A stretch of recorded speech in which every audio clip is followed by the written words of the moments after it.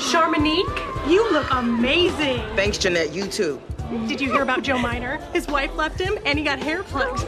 Okay, that's nice. Listen, hey, hey, bring it down. Now, I don't mean no disrespect, but I did not come here to talk smack with you thirsty ratchets.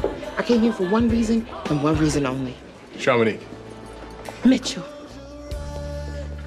Hi, Mitchell. Jeanette Chantel, please break the hell out. I was afraid I'd never see you again. I would never let that happen. You have to know that I've waited a long time for this opportunity, Charmonique. Me too. When I heard that you were a mother, well, there were no words to describe the way I felt. But when I found out you weren't married or even with the father, I... Shh, Mitchell, no, no. Wait. Let's not do this here. Let's get rid of our coats and find a quiet place to talk. Wonderful. That's a great idea. I certainly don't mean to lecture you, but when you engage in immoral sex, it's not just an oops upside your head. It's also an oops upside the head of our Lord and Creator, Christ Almighty. Oh, Mitchell, come on. You were on tour with Jodeci. Which is why I had to repent, specifically for providing the leatherware in that Freek'n You video. When I think about all the fornication I fostered. I can't believe I flat ironed my MJB for this.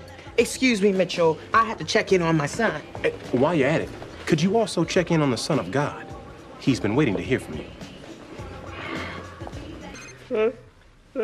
Hello. Eliza, is everything okay? Everything's great. Uh-oh, I hear Eddie Murphy. Kevin is just a little anxious, maybe about going to bed. Well, did you give him his bedtime nuggets? His what? His bedtime nuggets. I told you he needs two or three of those before he can go to sleep. Bedtime nuggets, of course, I completely forgot. Hey, Kevin, would you like some bedtime nuggets? You know what? I would. Ah. Oh, thanks, Charmonique. Somehow you called at the exact right time. I knew exactly what to do. You're the best mom ever. You know what? I am. Everything good? Everything's great. You know, I don't know if you were trying to make me feel bad about my life choices, but I'm sorry, Father McMoney, I don't. And I'm glad that you found higher love. But I have self-love, and that's real love. So now, if you'll excuse me, they're playing my jam. Sometimes when the grind window closes, the door to enlightenment opens.